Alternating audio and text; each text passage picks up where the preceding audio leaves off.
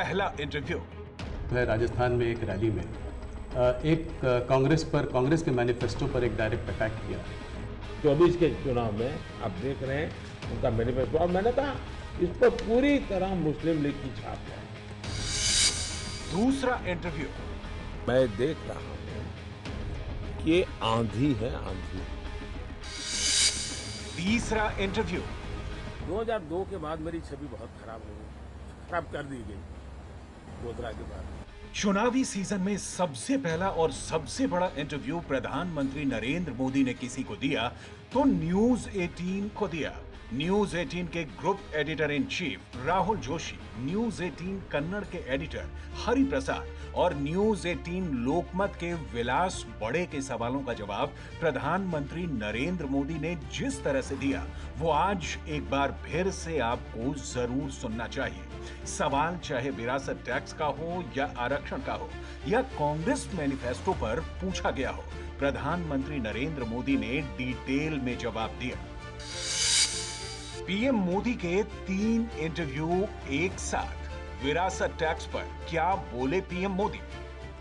Sam Pitroda ji ने जो है इनहेरिटेंस टैक्स की बात की, जो हम लोगों की जमा पूंजी है, जब हम अपने लोग पूरा बचाते हैं अपने फैमिली के लिए, जब हम उसको अपने आने वाली जनरेशन को देंगे तो उस पर भी टैक्स लगेगा। और ये टैक्स बहुत बड़ा टैक्स हो सकता है। तो क्या आप कहेंगे कि बीजेपी अगर आएगी तो इस टैक्स को कभी नहीं लागू करेगी? भारतीय जनता पार्टी क्या करेगी? हमारे मैनिफेस्टो में साफ़ हमने लिख करके लाए हुए। अब उन्होंने कहीं सगुफा छोड़ दिया तो मैं भी वो झंडा लेके घूमूँगा। ये सवाल आपके मन में कैसे आ जाता है? पीएम मोदी के तीन इंटरव्यू एक साथ। नेशनल एक्सरे पर क्या बोले पीएम मोदी? मोदी जी, राहुल गांधी ने एक बात और कही है। वो कहते हैं कि जब वो सरकार अगर उनकी आएगी तो वो एक नेशनल एक्सरे कराएँगे। इसी से जुड़ा सवाल है, इसीलिए मैं पूछना चाह रहा हूँ। एक नेशनल एक्सरे कराएँगे। बात सिर्फ़ कास्ट सेंसस की नहीं है, जो कि वो करते आए हैं, उस पर भी मैं आपका मत जानना चाहूँगा। मगर बात वो कहते हैं इससे आगे है।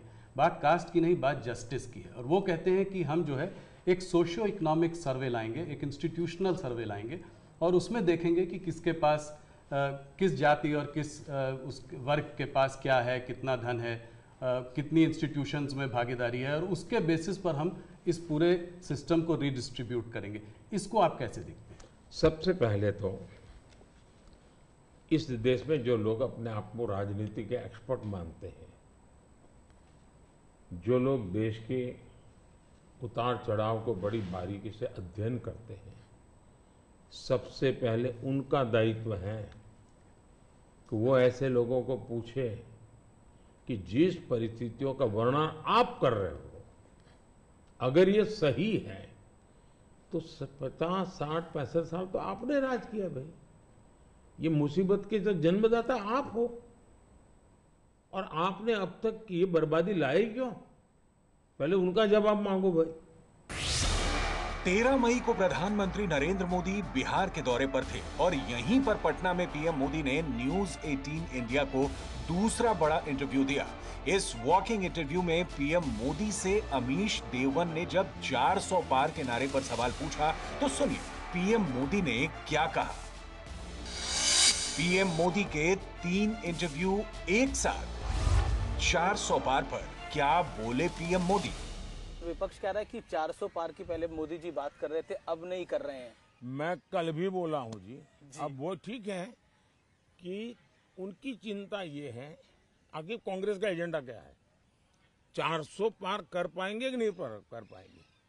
उनका ये एजेंडा नहीं है कि वो कितनी सीटें जीतेंगे और कैसे जीतेंगे। दूसरा मैंने करीब करीब हिंदुस्तान के एक तीन चार राज्य बाकी है। सभी राज्यों का भ्रमण किया है। और सभी राज्यों के भ्रमण से मैं देख रहा हूँ कि ये आंधी है आंधी। बड़ी आंधी। और 2019 से बड़ी वाली आंधी? 400 पार बहुत आराम से देश की जनता करने वाली है। विपक्ष 19 से 24 में विपक्ष के नाते भी विफल गया है। जो लोग विपक्ष के नाते भी विफल गए हो जी। उनको इतना बड़े देश का कारोबार कौन देगा? पीएम मोदी ने तीसरा इंटरव्यू अपने नामांकन वाले दिन, यानी 14 मई को काशी में क्रूज पर रुबिका लियाकत को दिया। इस इंटरव्यू में पहली बार पीएम मोदी ने गोधरा और 2002 का ज़िक्र किया और मुस्लिम समुदाय के साथ अपने रिश्तों पर भी बात की। पीएम मोदी के तीन इंटरव्यू एक साथ। गोधरा पर क्या बोले पीएम मोदी? आज की तारीख में मैं आपको पूरी गंभीरता से और संजीदगी से कह सकती हूँ कि ऐसे ऐसे मुसलमान आगे आते हैं जो आपके लिए जान दे सकते हैं। और एक उनका वाक्य है, ना दूरी है, ना खाई है, मोदी हमारा भाई है। बड़ा ज़ोर शोर से ऐसे करते हुए नज़र आते हैं। बावजूद उसके, आप उस धारणा को तोड़ने में क्या नाकामयाब रहे हैं कि मोदी मुसलमानों का नहीं है। 2002 के बाद मेरी छवि बहुत खराब हो गई, खराब कर दी गई, गोधरा के बाद। तो मैंने सोचा, भाई, जरा रियलिटी जाननी चाहिए। तो मैंने, हमारे एक तीस कार्यकर्ताओं का, युवाओं का, एक ट्रेनिंग कैंप किया और उनको सर्वे करना सिखाया मैंने। सर्वे मतलब वो आंकड़ों वाला सर्वे नहीं, बातचीत कैसे करनी, बात कैसे निकालनी। अहमदाबाद में एक माणिक चौक करके जगह है। वो माणिक चौक में शाम को लोग खाना खाने जाते हैं। हाँ, हाँ, हाँ। पर वहाँ दिन में जो बिज़नेस है सारे व्यापारी है और खरीदार सारे हिंदू है। बड़ा यूनिक सा मार्केट है। मतलब सारे व्यापारी मुसलमान सारे व्यापारी मुसलमान हैं और सारे खरीदार हिंदू है। और वो इतनी भीड़ होती है जी पैदल नहीं चल सकते आप। साइकिल को तो लेके जाना इम्पॉसिबल है। अब दिवाली में बड़ी बहुत है ना आप अंदर गए दो घंटे से निकल नहीं सकते। और हर प्रकार की चीज़ें बिकती है वहाँ। मैंने कहा मुझे उसी मार्केट में सर्वे करना है। वहाँ सर्वे करो। तो मैंने इन लड़कों को भेजा और मैं डेली रिपोर्ट लेता था। वो गए पूछते थे कि आप बताइए दिवाली कैसी है? नहीं नहीं यार दिवाली बहुत अच्छी है। ये मैं 2002 की बात कर रहा हूँ मैं अभी आपसे पूछने वाली थी। 2002 की बात कर रहा हूँ। नहीं बोले दिवाली बहुत अच्छी है। फिर वो कहता था उसको जरा चुभने के लिए वो कहता था देखिए मोदी बैठा है यार दिवाली। हे मोदी का नाम मत लो। ये बच्चा होता था उनका बोले इसकी माँ सुनेगी ना तो मुझे रात को खाना नहीं देगी। बोले क्यों? अरे बोली मोदी नहीं आया ना तब तक ये स्कूल नहीं जाता था। बोले मोदी आया तो स्कूल जा रहा है। ये दिवाली की छुट्टियाँ है तो मेरे यहाँ दुकान पे मेरी मदद कर रहा है।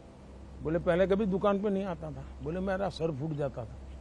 बोले उसकी माँ इतनी खुश है कि मेरे बच्चे सब उनका जीवन बन रहा इस बार मुसलमान आपको वोट देगा? आपको उनके वोट की मैं है? मैं ये मानता हूँ कि मेरे देश के लोग मुझे वोट देंगे। मैं जिस दिन हिंदू मुसलमान करूँगा ना उस दिन मैं सार्वजनिक जीवन में रहने योग्य नहीं रहूँगा और मैं हिंदू मुसलमान नहीं करूँगा। ये मेरा संकल्प है। अगर मैं घर देता हूँ, मैं सेचुरेशन की बात करता हूँ हंड्रेड परसेंट डिलीवरी इसका मतलब हुआ, गाँव में मानो 200 घर है। कौन समाज है, कौन जाति है, कौन धर्म है? नौ उन 200 घर में अगर 60 लाभार्थी हैं तो उन 60 लाख लोगों को मिलना चाहिए। और जब मैं 100 परसेंट सेचुरेशन का मतलब होता है, वो सच्चा सामाजिक न्याय है। वो सच्चा सेकुलरिज्म है। जब आप उसमें करप्शन की भी संभावना नहीं रहती। कि आपको मालूम है भाई भले उसको मंडे को मिला है ना अगले मंडे को मेरा नंबर लग जाएगा। पीएम मोदी के तीन इंटरव्यू एक साथ। ज़्यादा बच्चों वाले बयान पर क्या बोले पीएम मोदी? स्टेज पर आपने मुसलमानों का जब ज़िक्र किया तो घुसपैठिया ज़्यादा बच्चा पैदा करने वाला इसकी क्या ज़रूरत आन पड़ी? मैं हैरान हूँ जी। ये किसने आपको कहा कि जब ज़्यादा बच्चों की बात होती है तो सिर्फ़ मुसलमान का नाम जोड़ देते हैं। क्यों मुसलमान के साथ अन्याय करते हैं आप? हमारे यहाँ गरीब परिवारों में भी ये हाल है जी। उनके बच्चों को पढ़ा नहीं पा रहे हैं। किसी भी समाज के हो गरीबी जहाँ है वहाँ बच्चे भी ज़्यादा हैं। तो आप कह रहे हैं मुसलमान अलग था ज़्यादा बच्चा पैदा करने मैंने वाला अलग था? मैंने न हिंदू कहा है न मुसलमान कहा है। मैंने कहा है कि भाई आप उतने बच्चे हो जिसका आप लालन पालन कर सको। सरकार को करना पड़े ऐसी स्थिति मत करो। प्रधानमंत्री नरेंद्र मोदी धुआंधार चुनाव प्रचार में व्यस्त हैं। न्यूज़ 18 इंडिया को दिए तीनों इंटरव्यू में पीएम मोदी ने पूरे चुनाव की तस्वीर देश के सामने रख दी है। और जो सवाल पीएम मोदी से पूछे जा रहे हैं विपक्ष को उसका जवाब भी दे दिया है। आप देख